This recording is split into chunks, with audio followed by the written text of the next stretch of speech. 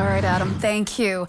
A Duluth firefighter critically injured after a hit and run last month was honored by the mayor, firefighters, first responders, and his military colleagues with, with 148th today. They all lined the tarmac as he was flown to Colorado to continue his treatment.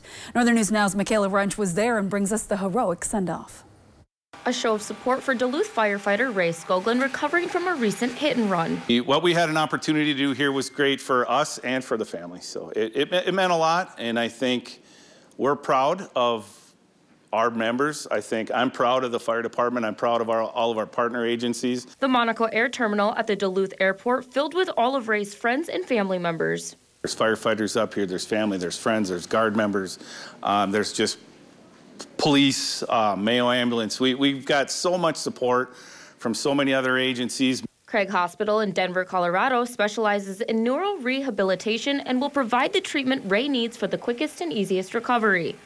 It's like there is no place better than Craig. Um, like this is the place that people do miraculous things. So it's so exciting for him to be making that transition. So important for his recovery to be making that transition. Duluth's fire chief says the transition wouldn't have been possible without the help of Essentia.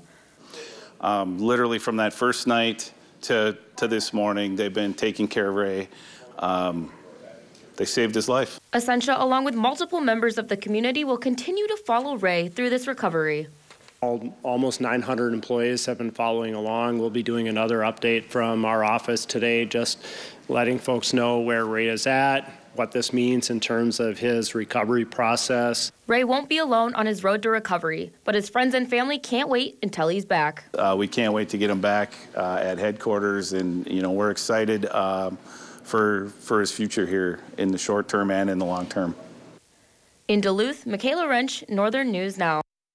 Michaela, thank you. Now, doctors say Skoglund has been showing small improvements over the past two weeks. His time at the Denver rehab facility is yet to be determined. Meantime, the man who police say struck Skoglund, 88-year-old Ronald Murdahl of Duluth, has been charged with criminal vehicular operation.